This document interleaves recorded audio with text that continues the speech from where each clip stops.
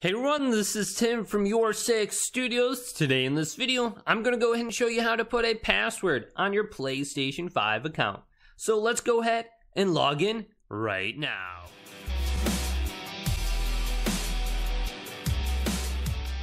So it's very easy to put a password on your PlayStation 5 account. So you can go ahead and prevent someone simply logging into your account and changing your information or buying something on the store. So how can we put a passcode on our account? So I'm just on the home screen right now. Let's go up to settings. Then select this and scroll down to users and accounts. Make sure you're on the correct PlayStation account also. Now under here, let's scroll down to login settings. Now if we go over to the right, there's two options under here. One is login automatically.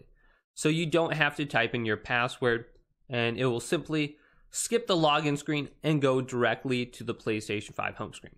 But under that is set a login passcode. If I select this, it'll bring me to this screen where I have to enter in a new passcode. Now I can use the D-pad or any face button to go ahead and make a passcode. So let's type something in. So I'm going to do this and boom, I have to repeat the passcode one more time. Now, I have the option to change my passcode or delete my login passcode right here. So if I go to change, it'll be the same process as before. If I go to delete, I have to re-enter in my passcode to delete it. Now, when I go back to my home screen here and I log out, I have to re-enter in my passcode before I can get into my account. So let's go to Team Rocket right now and then enter in my passcode. And now I can finally access my account.